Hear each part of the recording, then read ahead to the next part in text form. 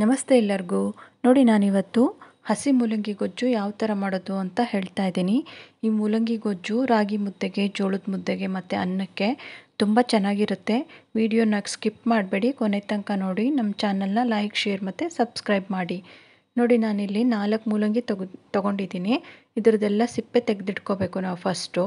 ನಾಲ್ಕು ಮೂಲಂಗಿದು ನೀಟಾಗಿ ಸಿಪ್ಪೆ ತೆಗೆದುಬಿಡಿ. ಆಮೇಲೆ ನೀರಲ್ಲಿ ನೀಟಾಗಿ ತೊಳ್ಕೊಳ್ಳಿ ಮೂಲಂಗಿನ.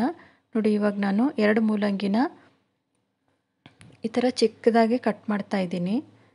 ಇದು ಏನು ಮಾಡೋದು ಅಂತ ನಾನು ನಿಮ್ಗೆ ಆಮೇಲೆ ಹೇಳ್ತೀನಿ. ಈ ಥರ ಚಿಕ್ಕದಾಗಿ ಕಟ್ ಮಾಡಿ ಎರಡು ಮೂಲಂಗಿನ. ಇನ್ನೆರಡು ಮೂಲಂಗಿ ಇರುತ್ತಲ್ಲ, ಅದನ್ನು ನಾವು ದೊಡ್ಡ ದೊಡ್ಡದಾಗಿ ಕಟ್ ಮಾಡ್ಕೋಬೇಕಾಗುತ್ತೆ. ನೋಡಿ, ಈ ಸೈಜಿಗೆ ಮಾಡ್ಕೊಳ್ಳಿ ಸಾಕು.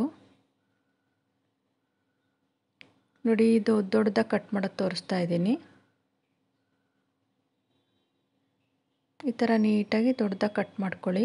ಈ ಮೂಲಂಗಿ ಇದೆಯಲ್ಲ ಗ್ಯಾಸ್ಟ್ರಿಕ್ಕಿಗೆ ತುಂಬ ಒಳ್ಳೆಯದು ವೀಕ್ಲಿ ಒನ್ಸು ನೀವು ಈ ಮೂಲಂಗಿನ ಗೊಜ್ಜನ್ನು ಯೂಸ್ ಮಾಡೋದ್ರಿಂದ ನಿಮಗೆ ಗ್ಯಾಸ್ಟ್ರಿಕ್ ಸಮಸ್ಯೆ ಬರೋದಿಲ್ಲ.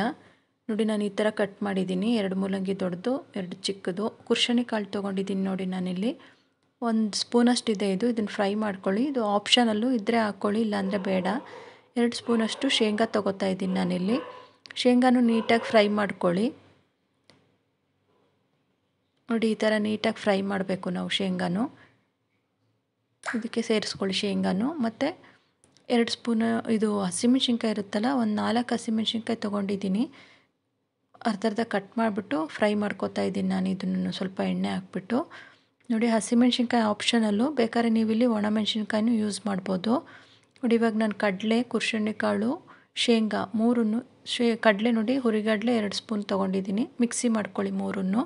ಪೌಡರ್ ಮಾಡ್ಕೋಬೇಕು ನಾವು ಇದನ್ನು. ಸಣ್ಣದಾಗಿ ಪೌಡರ್ ಮಾಡ್ಕೊಳ್ಳಿ. ನೋಡಿ, ಇದು ಇವಾಗ ಆಗಿದೆ ಪೌಡರು. ಇದನ್ನ ಏನಕ್ಕೆ ಹಾಕ್ತೀವಿ ಅಂದರೆ ಸ್ವಲ್ಪ ಗೊಜ್ಜು ಗಟ್ಟಿ ಬರಲಿ ಅಂತ ಹಾಕೋದು. ಟೇಸ್ಟು ಚೆನ್ನಾಗಿ ಬರುತ್ತೆ. ನೋಡಿ, ನಾನು ದೊಡ್ಡದಾಗಿ ಕಟ್ ಮಾಡಿದ್ನಲ್ಲ ಎರಡು ಮೂಲಂಗಿ, ಅದನ್ನು ಸೇರಿಸಿ ಅದಕ್ಕೆ ಹುರಿದಿದ್ನಲ್ಲ ಹಸಿಮೆಣ್ಸಿನ್ಕಾಯಿ, ಅದನ್ನು ಹಾಕಿ ಒಂದು ಸ್ಪೂನಷ್ಟು ಜೀರಿಗೆ ಹಾಕ್ಕೊಳ್ಳಿ. ಜೀರಿಗೆನೇ ಇಂಪಾರ್ಟೆಂಟ್ ಇಲ್ಲಿ.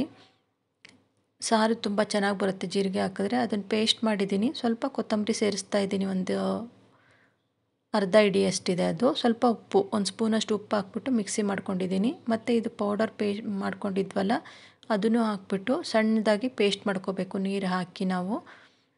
ನೋಡಿ, ಇದು ಇವಾಗ ಪೇಸ್ಟ್ ರೆಡಿಯಾಗಿದೆ ಗೊಜ್ಜಿಗೆ ಇದು. ನೋಡಿ, ಇವಾಗ ಒಗ್ಗರಣೆ ಹಾಕೋಕ್ಕೆ ಸ್ವಲ್ಪ ಆಯಿಲ್ ಹಾಕಿದ್ದೀನಿ, ಬಾಣಲಿ ಇಟ್ಬಿಟ್ಟು ಸ್ಟವ್ ಮೇಲೆ. ಒಂದು ಸ್ವಲ್ಪ ಸಾಸಿವೆ, ಒಂದು ಸ್ವಲ್ಪ ಜೀರಿಗೆ, ಒಂದು ಸ್ವಲ್ಪ ಕರಿಬೇವು ಹಾಕ್ಬಿಟ್ಟು ಫ್ರೈ ಮಾಡ್ಕೊಳ್ಳಿ ನೀಟಾಗಿ. ಇದಾದಮೇಲೆ ನೀವು ಗ್ಯಾಸ್ ಆಫ್ ಮಾಡಿಕೊಂಡು ಅರ್ಧ ಈರುಳ್ಳಿ ಸಣ್ಣದಾಗಿ ಹೆಚ್ಚಿರೋದು, ಅರ್ಧ ಒಂದು ಎಷ್ಟಾರು ಹಾಕ್ಕೊಳ್ಳಿ, ನೀವು ಎಷ್ಟು ಬೇಕೋ ಅಷ್ಟು. ನೋಡಿ, ಒಂದು, ಎರಡು ಮೂಲಂಗಿ ಸಣ್ಣದಾಗಿ ಕಟ್ ಮಾಡಿದ್ನಲ್ಲ, ಅದನ್ನು ಹಾಕಿದ್ದೀನಿ. ನೀಟಾಗಿ ಮಿಕ್ಸ್ ಮಾಡ್ಕೊಳ್ಳಿ ಇದನ್ನು. ಗ್ಯಾಸ್ ಆನ್ ಆಗಬೇ, ಇರಬಾರ್ದು, ಆಫ್ ಮಾಡಿರಬೇಕು. ನೋಡಿ, ಇದು ಹಸಿ ಮೂಲಂಗಿ ಗೊಜ್ಜಲ್ಲ, ಅದಕ್ಕೆ ನೋಡಿ, ನಾನು ಪೇಸ್ಟ್ ಮಾಡ್ಕೊಂಡಿದ್ನಲ್ಲ ಮಸಾಲ, ಅದನ್ನು ಹಾಕ್ತಾಯಿದ್ದೀನಿ ಇದನ್ನು ನೀಟಾಗಿ ಮಿಕ್ಸ್ ಮಾಡ್ಕೊಳ್ಳಿ.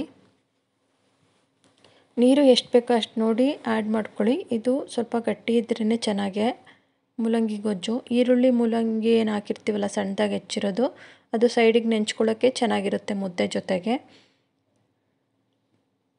ಮೂಲಂಗಿ ತಿನ್ನಲ್ಲ ಅನ್ನೋರು, ಅದು ಸಣ್ಣದಾಗಿ ಹೆಚ್ಚಿರೋದು ಹಾಕ್ಕೋಬೇಡಿ. ಹಂಗೆ ಮಿಕ್ಸಿಗೇನು ಹಾಕ್ತಿರಲ್ಲ, ಅದನ್ನೇ ಹಾಕ್ಕೋಬೋದು ಅಷ್ಟೇ